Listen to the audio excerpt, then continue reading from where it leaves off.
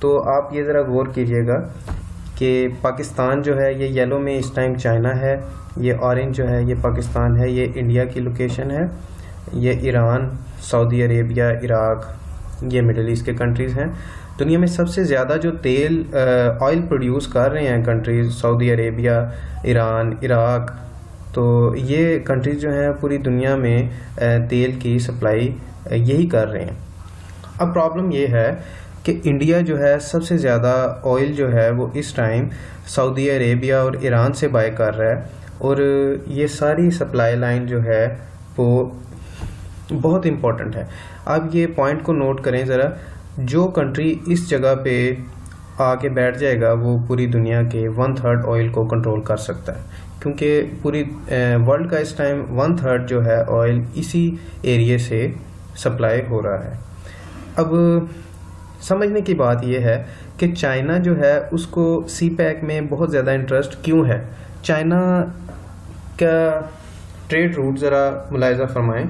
Iran से अगर China ने ऑयल बाय किया है, इंडिया भी ईरान से ही ऑयल परचेज कर रहा है वाइल चाइना भी ईरान से ही खरीद रहा है। चाइना ने अगर ईरान से तेल खरीदा, वो यहाँ से ईरान से निकला, अरेबियन सी में एंटर हुआ। अरेबियन सी से वो ये ये सारा रूट फॉलो किया उसने और वो यहाँ से इंडोनेशिया, मलेशिया कोलमपुर से होता हुआ, ये चाइना में, हांगकांग, बीजिंग, ये यहाँ पे इनकी पोर्ट्स हैं तैनजान ये पोर्ट है, इधर जाके, इसका ये ट्रेड रूट बहुत लंबा है। इन द मेन वाइल अगर चाइना ये रोड बना लेता है, जिसको वन बेल्ट वन रोड का नाम दिया है, ये रोड बना लेता है तो ये यहाँ से ये एरिया इसका काशगर का एरिया है, और इसको चाइना ये यहाँ से इसने एक रोड बनाया, और यहाँ से ये पाकिस्तान के गिलगित बल्तिस्तान में एंटर हुआ, और यहाँ से ये फाटा के एरियाज़ को, कुछ पंजाब के एरियाज़ डेरा इस्माइल ख़ान हो गया। यहाँ से बलूचिस्तान में एंटर हुआ और ये सीधा ग्वादर। अब अगर चाइना जो है ये रोड बना लेता है तो चाइना को दो तरह के फ़ायदे हैं। वो फ़ायदे कुछ इस तरह हैं कि चाइना का अगर हम चाइना को डिवाइड कर दें दो हिस्सों में, ऐसे। ये इसका ईस्टर्न एरिया हो गया, ये इसका वेस्टर्न एरिया हो गया। क्योंकि चाइना को इस साइड से समंदर लग रहा है तो चाइना की ज़्यादा डेवलपमेंट इस एरिया में है। 94 परसेंट चाइना की पॉपुलेशन जो है वो ईस्टर्न साइड पे है, जबकि वेस्टर्न साइड पे ओनली 6 परसेंट पॉपुलेशन है। अब आप अंदाज़ा कर लें कि चाइना की जो इस एरिया की डेवलपमेंट है, वो उसका स्टैंडर्ड क्या है? अगर ये चाइना रोड बना लेता है तो डेफिनेटली चाइना के ये एरिया भी डेवलप हो जाएगा। ये एक स्ट्रेटजिक पॉइंट ऑफ़ व्यू से भी बड़ा इंपॉर्टेंट है बिकॉज़ आज अगर इंडिया चाइना के ऊपर अटैक करता है तो यहाँ से फोर्सेस को मूव करवा के इस एरिए में लेके आना चाइना के लिए बहुत ज़्यादा कॉस्टली भी है और टाइम कंज्यूमिंग भी।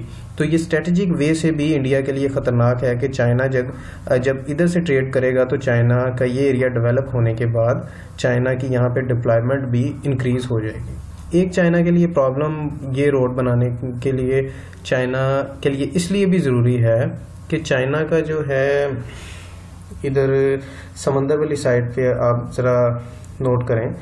कि यहाँ पे कौन कौन से कंट्रीज़ हैं? Vietnam, Taiwan, Brunei, Indonesia, Malaysia, ये कंट्रीज़ भी आज चाइना को आँखें दिखा रहे हैं कि ये साउथ साउथ चाइना सी में हमारा भी हिस्सा है। दूसरी साइड पे जो पॉपुलेशन है, उसने वर्ल्ड वाइड आईसीजे है, उसने भी एक ऑर्डर दे दिया है कि इसमें इन मुल्कों को भी आपको शामिल, आप शामिल करें। अमेरिका इस में यहाँ पे खड़ा है कि अमेरिका जो है यहाँ पे फिलीपींस को जो है वो वेपन्स दे रहा है, जिसकी वजह से चाइना को प्रॉब्लम हो रहा है कि जो है उसका इंक्रीज़ हो जाएँगे उसके, दफाई बजट में उसके इंक्रीज़ हो जाएगा। चाइना ने यहाँ पे अपनी नेवी भी डिप्लॉय कर रखी है। ये सारा इस टाइम सूरत हाल है, जिस वजह से चाइना जो है बहुत ज़्यादा सी पैक को इंटरेस्ट सी पैक में इंटरेस्ट ले रहा है। अब ये देखें सी पैक पर थोड़ा सा गौर करें कि इकोनॉमिक कॉरिडोर जो है, ये ग्वादर से स्टार्ट हुआ, डेरा इस्माइल खान, फाटा के कुछ एरियाज़ के पी के और फिर ये काशगर चाइना में एंटर हो गया। थोड़ा सा मिडल ईस्ट की सिचुएशन पे गौर करें कि ये जो एरिया है ईरान इराक और सऊदी अरेबिया यहाँ पे ये जो एरिया है इसको कहते हैं स्ट्रेट ऑफ़ हारमोज ये एरिया जब यहाँ से ऑयल निकलता है, ये एरिया, ये जो मैंने पहले आपको पिछले हिस्से में बताया है कि इस एरिया को अगर जो भी कंट्री कंट्रोल करेगा तो ये यहाँ से वन थर्ड जो है वो वर्ल्ड की ऑयल सप्लाईज हैं तो ये इस चीज़ को कंट्रोल कर सकता है। इस वे से भी अमेरिका इंडिया जो है, इसने यहाँ पे चाबहार स्टार्ट की है ताकि वो इस एरिया को कवर करने की कोशिश करे। इस मैप पे थोड़ा सा गौर करें, ये जो पिंक से एरिया है, ये सारा चाइना है और काशगर का एरिया और ये पाकिस्तान। ये चाइना को जो पहला उसका ट्रेड रूट है, वो यहाँ से, ये देखेंगे इसका पहला ट्रेड रूट बहुत लंबा है, हांगकांग, शंघाई, बीजिंग। लेकिन अगर ये चाइना बना लेता है, सी पैक तो ये इसका ट्रेड रूट कितना सिमट जाएगा। ये मैंने आपको पहले थोड़ा सा एक्सप्लेन कर दिया है कि ये जो बाकी, जो कंट्रीज़ हैं यहाँ पे, जैसे Philippines Taiwan Malaysia Brunei Indonesia ये कंट्रीज़ भी आज चाइना से डिमांड कर रहे हैं कि हमें हमारा हिस्सा दिया जाए, ये भी वजह है। दूसरी साइड पे चाइना के लिए इस समंदर को कंट्रोल करना एक और भी स्ट्रेटजिक वे में बहुत ज़रूरी है कि अगर चाइना इस समंदर के ऊपर कंट्रोल रखता है अपना तो कल को चाइना, जापान के साथ अगर उसकी लड़ाई होती है तो उसकी सारी सप्लाई रूट्स बंद कर सकता है। ऑल दो चाइना और जापान जो हैं, ये बहुत दुश्मन मुल्क हैं, लेकिन फिर भी इनकी ईयरली जो है 3.50 बिलियन डॉलर की ट्रेड है स्टील तो चाइना के लिए इस वजह से भी बहुत ज़्यादा ज़रूरी है कि चाइना इस चीज़ को कंट्रोल करे। अब दूसरी साइड पे इंडिया की तरफ़ आ जाएँ। इंडिया क्या कर रहा है दूसरी साइड पे? इंडिया ने ईरान के साथ मिलके एक पोर्ट स्टार्ट की है चाबहार 20 बिलियन डॉलर इसकी इन्वेस्टमेंट है। इंडिया ने 20 बिलियन डॉलर अपने ए, पाकिस्तान की दुश्मनी में इधर 20 बिलियन डॉलर इन्वेस्ट कर दिया है। जबकि इंडिया ये जानता है कि गवादर और चाबहार जो है इसमें 72 बिलियन डॉलर 72 किलोमीटर का फासला है और गवादर जो है वो मोस्ट सूटेबल जगह पे है। चाबहार जो है, ये एक बहुत ज़्यादा कुछ सक्सेसफुल प्रोजेक्ट फ्यूचर में भी साबित नहीं होने वाला। दूसरी साइड पे इंडिया ने पाकिस्तान को प्रेशराइज करने के लिए अफ़गानिस्तान का के अंदर 300 मिलियन की 300 मिलियन डॉलर की इन्वेस्टमेंट की हुई है। मतलब डिफरेंट प्रोजेक्ट्स के अंदर इंडिया जो है अफ़गानिस्तान को हेल्प आउट कर रहा है। तो ये एक पाकिस्तान के ऊपर एक स्ट्रेटेजिक टैक्टिक्स हैं इंडिया के प्रेशराइज करने के लिए।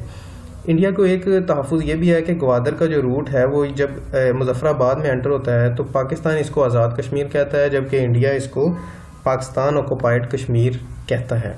यानी कि वो कहता है कि पाकिस्तान इसके ऊपर नाजायज़ कब्ज़ा किया हुआ है। ये मैंने आपको थोड़ा सा बताया था कि ये जो साउथ चाइना सी है, ये इधर एक line, nine dash line China ने क्रिएट की है, ये नाइन डैश लाइन है, ये मैंने क्रिएट किया है। यहाँ पे पैरासल्स और स्पेटलाज, ये दो हिस्सों में इसको हम डिवाइड कर सकते हैं ताकि यहाँ के जो कंट्रीज़ हैं, वो कुछ कहते हैं स्पार्टलाज में हमारा हिस्सा है, कुछ कहते हैं पैरासेल्स में हमारा हिस्सा है, जबकि चाइना कहता है कि नाइन डैश लाइन ये सारा जो है, वो चाइना का है। इसकी हिस्टोरिक वैल्यूज़ देख लेते हैं कि जियान और हान जो चाइना की सल्तनतें थी दो से चार हज़ार साल पुरानी ये क्लेम करती थी कि साउथ चाइना सी जो है ना, ये हमारा है। तो इस वजह से भी चाइना जो है, इसने 1947 में जो है ये क्लेम कर दिया कि एक नाइन डैश लाइन बना दी और क्लेम किया कि ये हमारा है। उधर दूसरी साइड पे यूएन क्लॉज जो है United Nation Convention on the on the Law of Sea जो है, वो ये कहता है कि इसमें सारे कंट्रीज़ की जो वाटर डिस्ट्रीब्यूशन है, उसने एक फ़ैसला दिया है ताकि सबको उनका हिस्सा मिले।